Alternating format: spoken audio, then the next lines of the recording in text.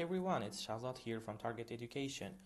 Obviously, the entire globe is going through a very unusual crisis right now. As a part of that crisis, people are really worried about three things. First, they're really worried about their health, both physical and mental. Second, they are worried about their economy. And then third, they're really worried about how do we ensure that students can keep learning. Recognize that this is our duty to step up in this situation.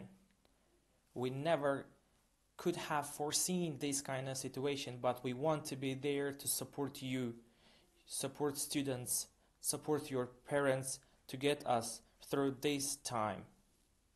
Now we are posting daily pre-recorded lessons on social media, on YouTube, Instagram, as well as a messenger called Telegram so that if this is the time of social distancing we can we can feel connected and make sure we are together we are here to support each other